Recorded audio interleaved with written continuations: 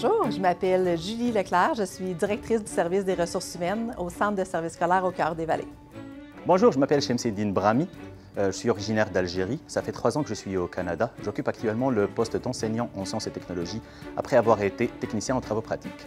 Donc, en ce qui concerne le processus d'embauche de CHEMS, il faut savoir que c'est d'abord le Carrefour Jeunesse Emploi qui a contacté le service des ressources humaines du Centre de services scolaires au cœur des vallées pour nous informer qu'il y avait un candidat potentiel pour nos écoles. Donc, rapidement, les choses se sont enclenchées et à l'intérieur d'un mois, CHEMS a débuté comme technicien en travaux pratiques.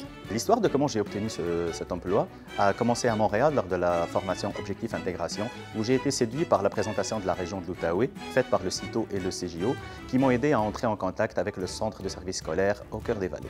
Les éléments clés qui m'ont aidé à m'installer et à m'intégrer au Québec ont été au fait mon implication bénévole dans le sport des jeunes et une personnalité assez extravertie.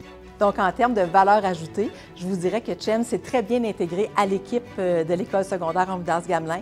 Il s'est aussi bien impliqué euh, dans la vie scolaire des élèves. Donc, euh, les enfants aiment beaucoup travailler avec lui et il sait susciter les passions quand il enseigne la science. Le plus gros défi auquel j'ai dû faire face, ça a été la création d'un réseau. J'ai été aidé en cela par les organismes d'aide à l'installation en région.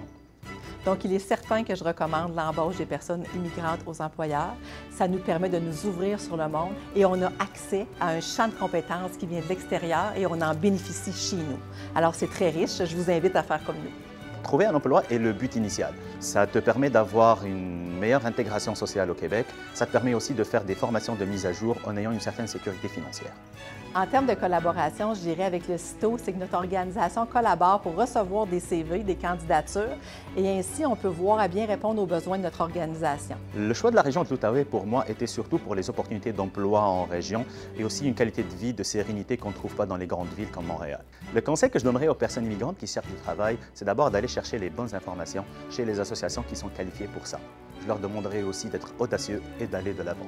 Donc, quand on parle des qualités de Chem, je dirais qu'il est reconnu pour son professionnalisme et toute l'énergie qu'il apporte dans une équipe enseignante et aussi auprès des élèves. Ce que j'apprécie le plus chez Mme Leclerc, c'est sa façon de gérer basée sur le travail mutuel et sur la transparence qui nous permet d'avancer tous en équipe.